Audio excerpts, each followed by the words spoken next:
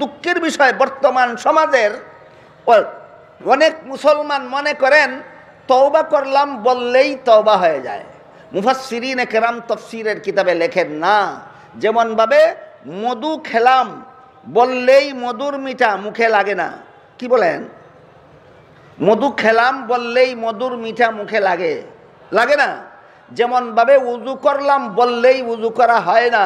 ঠিক তেমনিভাবে তওবা করলাম বললেই তওবা হয় না। উজু হয়, চার ফরজ আদায় করে উজু করলে উজু হয় উজু করলাম বলো আর না বলো।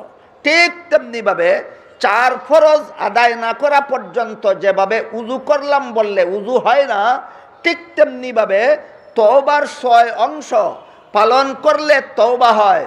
মুখে বলো আর না বলো, তওবার ছয়টি অংশ পালন না করলে তওবা করলাম, হাজারবার বললেও তওবা হয় না। যেমনভাবে চার ফরজ ছাড়া উজু হয় না, তেমনিভাবে ছয় অংশ ছাড়া, ছয় কাজ ছাড়া তওবা হয় না।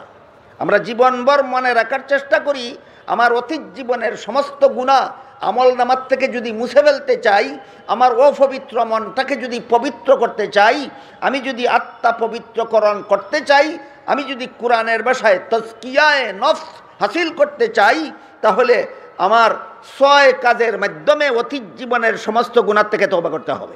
কত কাজ? ছয় কাজ। ছয় কাজের প্রথম কাজ। যারা মনোযোগে শুনলে মনে রাখতে পারবেন, তওবার ছয় কাজ মনে রাখবেন। যারা মনে রাখতে পারবেন না মনে করেন, লেখে নিতে পারেন।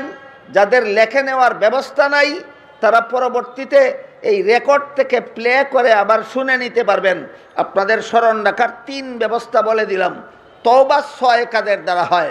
এক নম্বর, নিজের গুনার কারণে আল্লাহর কাছে অনুতপ্ত হওয়া, অনুসূচিত হওয়া, লজ্জিত হওয়া, যার গুনার কারণে মনে আফসুস হয় না তৌবা করলাম তৌবা করলাম বললে তৌবা হয় না। গুনার কারণে আল্লাহর কাছে অনু অনুতপ্ত হতে হবে, অনুসূচিত হতে হবে, গুনার কারণে আল্লাহর কাছে লজ্জিত হতে হবে। এটা হইল তৌবার ছয় কাজের প্রথম কাজ। দ্বিতীয় কাজ, গুনার কাজের অভ্যাসটা ছেড়ে দিতে হবে। তৃতীয় কাজ, ভবিষ্যতে আর কোনো দিন গুণা করব না। এ মর্মে আল্লাহর সাথে পাক্কা ওয়াদা করতে হবে। চতুর্থ কাজ, কোনো আল্লাহর আল্লাহর কোনো হক, আল্লাহর কোনো অধিকার লঙ্ঘনের মাধ্যমে যদি গুণা করা হয়ে থাকে আল্লাহর অধিকার আদায়ের ব্যবস্থা করতে হবে। আল্লাহর অধিকার কি? আদায়ের ব্যবস্থা কি? সেই আলোচনার অবকাশ এখানে নেই। আপনারা যারা জানতে আগ্রহী, স্থানীয় কোনো হক্কানি আলেমদের কাছ থেকে জেনে নিতে পারবেন যে আল্লাহর হক কি এবং তা আদায়ের ব্যবস্থা কি। তওবার চতুর্থ কাজ হলো আল্লাহর হক আল্লাহর হক লঙ্ঘনের মাধ্যমে যদি গুণা হয়ে থাকে, তাহলে আল্লাহর হক আদায়ের ব্যবস্থা না করা পর্যন্ত তৌবা হবে না। পঞ্চম কাজ, বন্দার হক লঙ্ঘনের মাধ্যমে যদি গুণা হয়ে থাকে, বন্দার হক আদায়ের ব্যবস্থা না করা পর্যন্ত তৌবা হবে না। তাহলে তৌবার প্রথম কাজ, গুনার জন্য লজ্জিত হওয়া। দ্বিতীয় কাজ, গুনার অভ্যাস সেরে দেওয়া। তৃতীয় কাজ, ভবিষ্যতে গুণা করব না বলে আল্লাহর সাথে পাক্কা ওয়াদা করা।